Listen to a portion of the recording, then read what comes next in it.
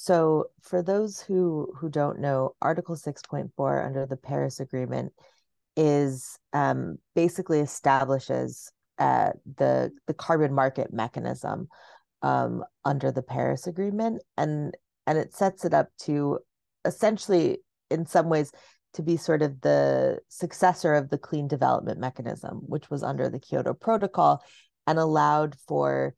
uh, the trading of of offsets and credits. And so, for say one country to pay for a project in another country,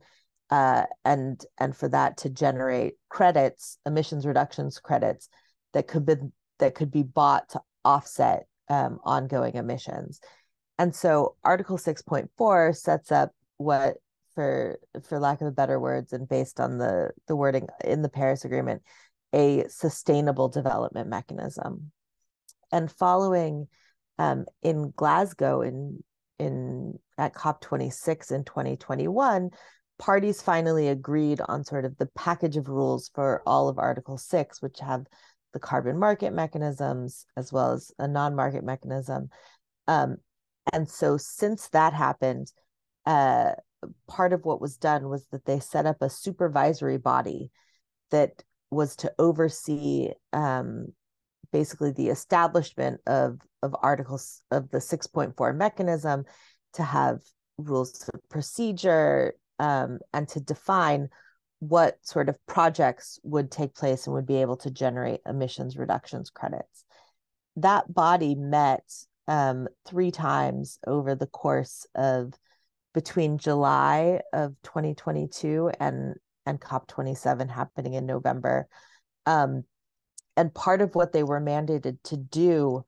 coming out of COP26 at the end of 2021 was to, in addition to developing rules of procedure, they were supposed to talk about recommendations on methodologies as well as recommendations on removals,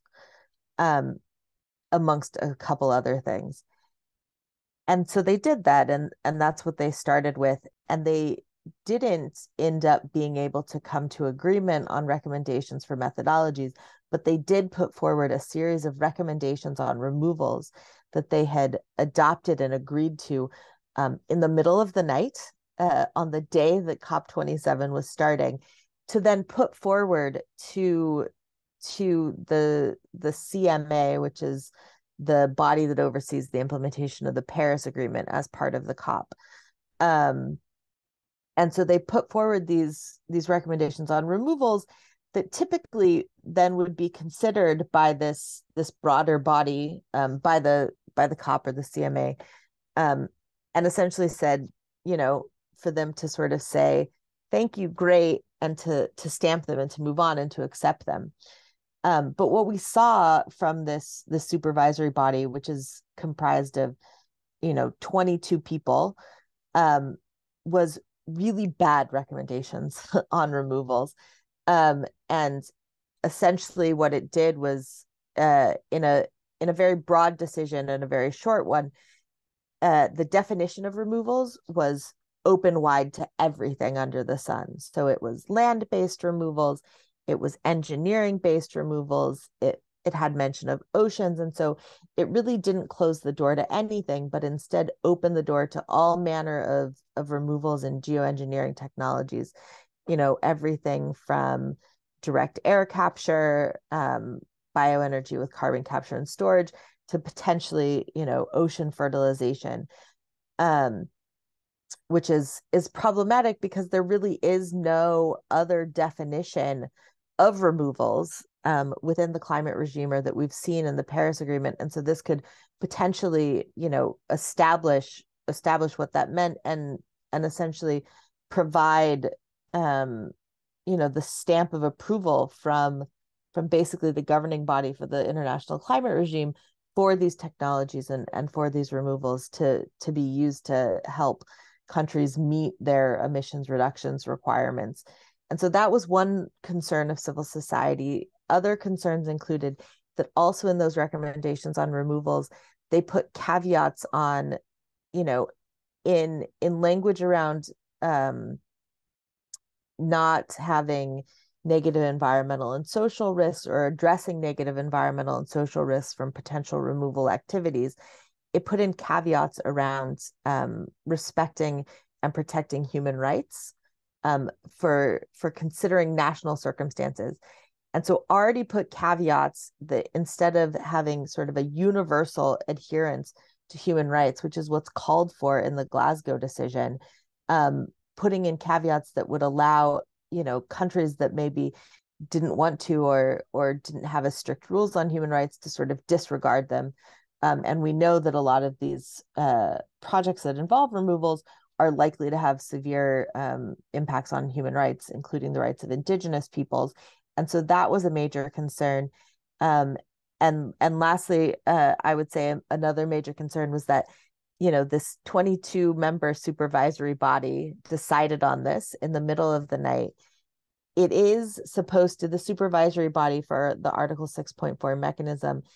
is you know has in place that the the meetings are transparent so they're webcast and they did have provisions for the participation of observers including a space for interacting with observers. But in the end they said in the interest of time we don't have time for this so we're not going to be able to interact with observers. So there was really no participation. It wasn't an inclusive process. And what we see when there's not an inclusive process and not the stakeholder interaction is that they come up with these bad decisions um, on removals. And so so this was what was being discussed um, as part of article 6.4 at the cop and and facing a lot of pushback from civil society groups from indigenous peoples from women. Um, there was really sort of a cross constituency um, group of people expressing concerns and ultimately the negotiators themselves expressing concerns about um, about this document that was that was produced and about it not being not actually being ready um, for for adoption. And and ultimately what we saw was the the cop um, essentially thanking the supervisory body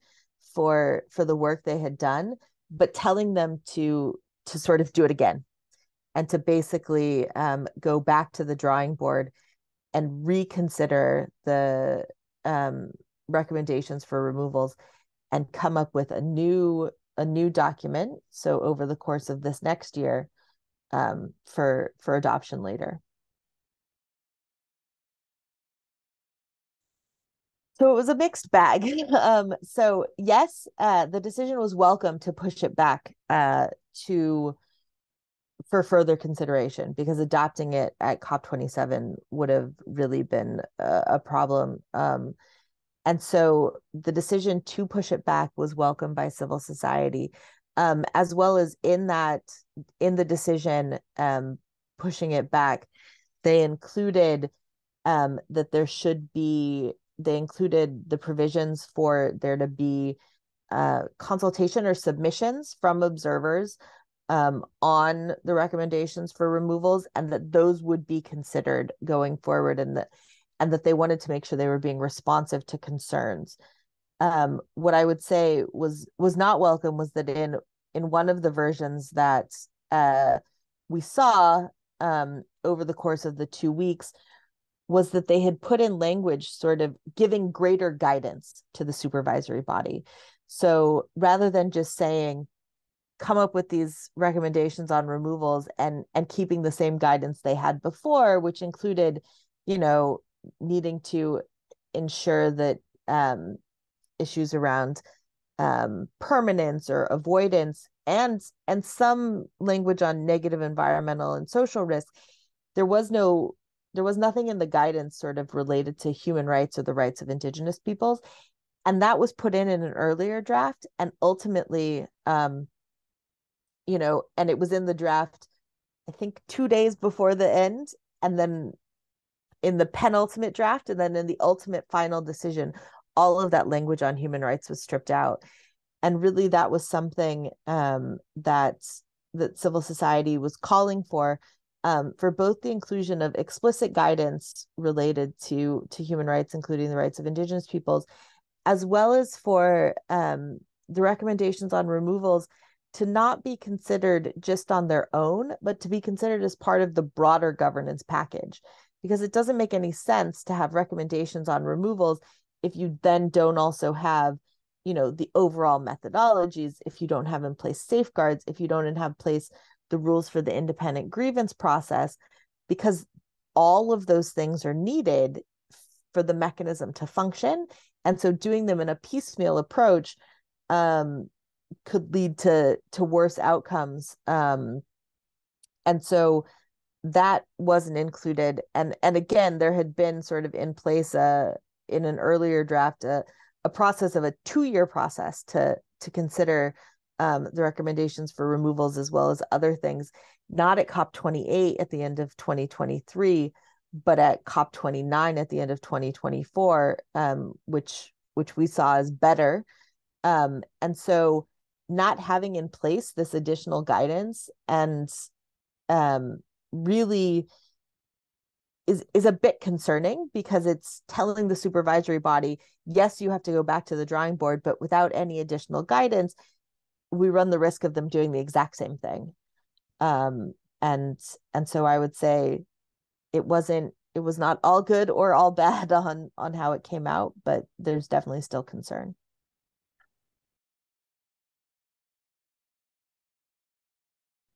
Yeah, so looking ahead, the the main things to be aware of is that the supervisory body itself, um, I believe, has four meetings scheduled. I think the first one in March, and then they will meet alongside um, at the at the intersessional in Bonn in June. Um, and then I think they have another meeting in early fall, as well as they'll have one again just before uh, COP28 in Dubai. And, and as part of those meetings, they will certainly be discussing um, the recommendations on removals. All of those meetings should be um, transparent, and so they should be webcast. They should also be open to the participation of observers so that there should be people able to to attend those meetings um, and hopefully uh, be in the same room and not in a separate room, which is what we saw in in on the at the meeting on the eve of COP27, which was also bad for participation, and that there should be this participation um, of civil society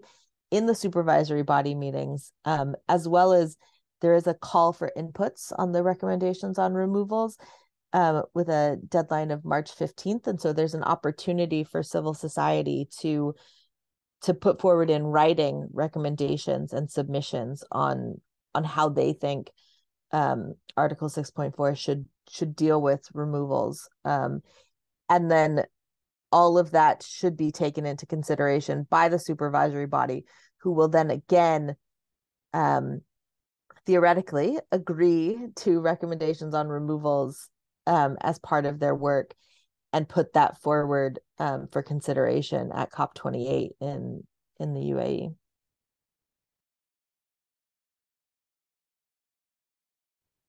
Yeah, so one of the other disappointing developments was that in the cover decision, as you've as you've mentioned, um, there was only a repeat of the language from Glasgow on the phase down of unabated coal power um, which obviously is one very narrow part of it. Um, whereas civil society was calling for a phase out of fossil fuels entirely, so coal, oil, and gas, and to remove language around unabated. Um, so one way that this is is related is obviously, you know, putting in caveats around,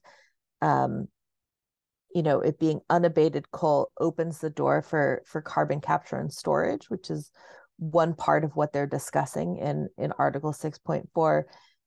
but one thing to keep in mind is that removals are, are not reductions. And putting you know and removals by carbon capture and storage on a coal plant or um, is not actually reducing emissions. It's just it's just creating emissions and having a, a bit fewer emissions than there would be otherwise. Um, and the other way that it's really linked is that you know one of the main concerns about article 6.4 in general and and an offset and having a carbon market is that it allows for the continuation of business as usual and it allows for the continuation of fossil fuel emissions to to continue on the premise that you can continue to emit fossil you can you know you can continue your fossil fuel emissions and pay for mitigation elsewhere or pay for uh, in this case removals elsewhere um potentially that you then use to offset your ongoing emissions and so not calling you know not including that there needs to be this reduction of fossil fuels, which are the main drivers of climate change, is really is is missing the boat. Um, and if we have any hopes of staying below 1.5 degrees, we need to be concentrating on ending the drivers of climate change and ending reliance and on on fossil fuels and a phase out of fossil fuels full stop um, rather than you know trying to develop rules or or creating offset markets because we're not we're never going to be able to offset our way to keeping global temperature rise below 1.5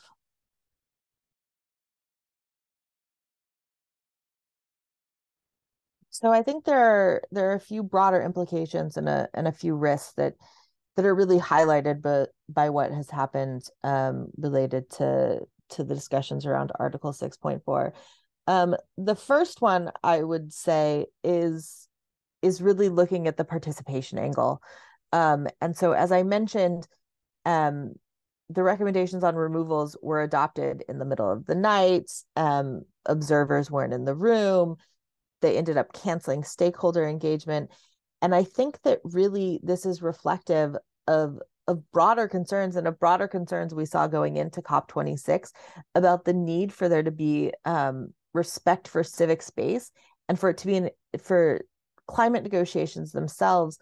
generally and and more broadly for for all of climate action to really be done through inclusive and transparent processes that include um,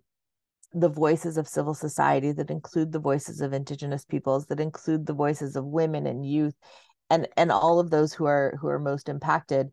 um, because when you include uh, people in decision making, you lead to better outcomes. And and what we see here is that you know a terrible outcome through an exclusive process that civil society ultimately wasn't allowed to contribute adequately to and that leads to really bad outcomes um, and so i think that's one lesson or, or one implication that we see from this and and one that shouldn't be replicated. Um, i think the other implications as as sort of mentioned are that um, if we end up with you know is that you know the carbon market generally and and the mechanism under article 6.4 does have the risk of undermining the integrity of the paris agreement. Because as i've mentioned we're we're not going to be able to offset our our way to 1.5 and really what we need is real reductions not techno fixes not a focus on removals um, because that's that's not going to take us there. And so it runs we run the risk of of these removals or or this mechanism distracting from what really needs to happen um, and providing an out or a caveat so that parties think that you know countries think that they can rely on um, technological fixes that don't exist at scale yet that will come with you know potential you know huge risk to the environment and people um, rather than reducing emissions. And this risks overshooting the the goal of keeping global temperature rise below 1.5 degrees. And if we overshoot that goal we don't know what happens. And we don't and there um some aspects you know according to to the IPCC and science there are potential um harms or things that will occur that we won't be able to come back from. So that even if we are able to you know overshoot 1.5 and come back a little bit there there are harms that will have already occurred that we won't be able to reverse. Um and so so that i think is is the broader implication and that if we focus if we're focusing on on sort of removals um and on only phasing down unabated fossil fuels as opposed to phasing out all of fossil fuels immediately and focusing really on only how you know after that phase out you know we then can enhance ambition through the market as opposed to as opposed to undermining it by merely having offsets um, will we be able to will we be able to keep temperature rise below 1.5 which is the goal and and nothing should be distracting from that. And and these decisions and potentially introducing uh, geoengineering technologies or other false solutions distracts from that goal um, and what we really need to do which is to phase out fossil fuels